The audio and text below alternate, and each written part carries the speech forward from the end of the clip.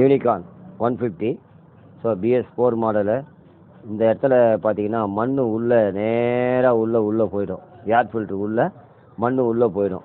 இது வந்து கஸ்டமருக்கு தெரியாது. நம்ம தான் நம்ம எடுத்து சொல்லணும். ஸோ நம்ம பார்த்துட்டோம்னா கஸ்டமருக்கு வந்து இது ஒரு யூனிகானில் வந்து இந்த மாதிரி ஒரு ப்ராப்ளம் இருக்குது அப்படின்னு சொல்லணும். இது வந்து ஃபுல்லாக கட்சி துண்டாரு பாருங்கள் எலி வந்து பார்த்தீங்கன்னா ஃபுல்லாகவே கட்சி துண்ணு இருக்கும் இதனால் என்ன ஆகும்னா மைலேஜ் ட்ராப் ஆகும்.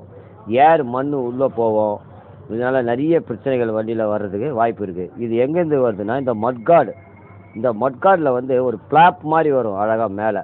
இந்த மேலே வந்து ஒரு பிளாப் வரும். இதில் வந்து லாக் ஆகி இந்த பட்டன் மாதிரி வரும்.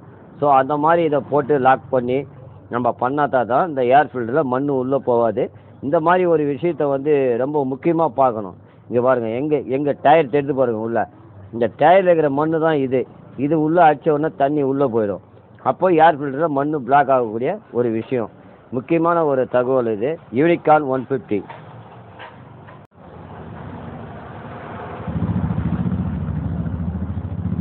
யூனிகான் யூனிகானில் வந்து இந்த மாதிரி மண் நிறைய இருந்ததுன்னா அந்த ஏர் ஃபில்ட்ரு உள்ள வழியாக உள்ள மண் உள்ளே போயிடும். ஸோ எதனால் இது போகிற காரணம் என்னன்னா ஒரு பக்கம் எலி பாதி துண்டாரு ஒரு பக்கம் எலி வந்து பாதி துணுச்சு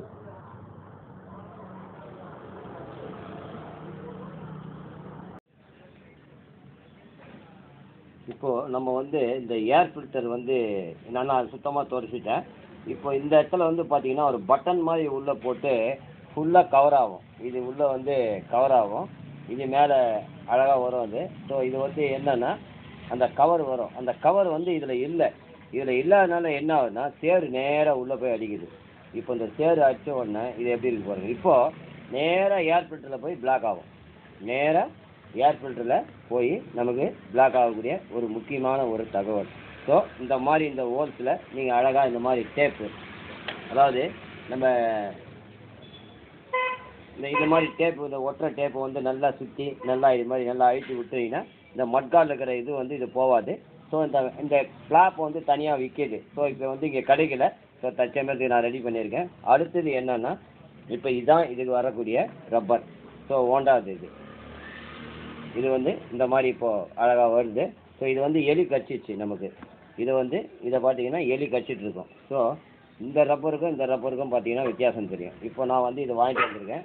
ஸோ கஸ்டமருக்கு வந்து இது வீடியோ மூலமாக எக்ஸ்பிளைன் பண்ணி நான் அனுப்பிச்சிடுவேன். இதை வந்து நல்லா அழுத்தி உள்ளே லாக் பண்ணணும்.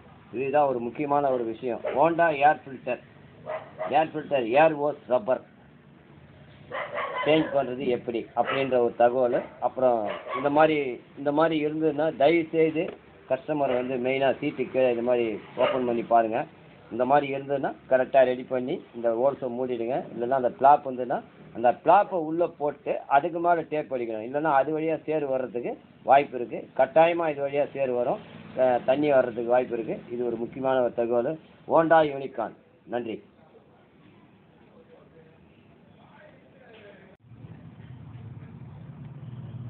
Unicorn air filter hose.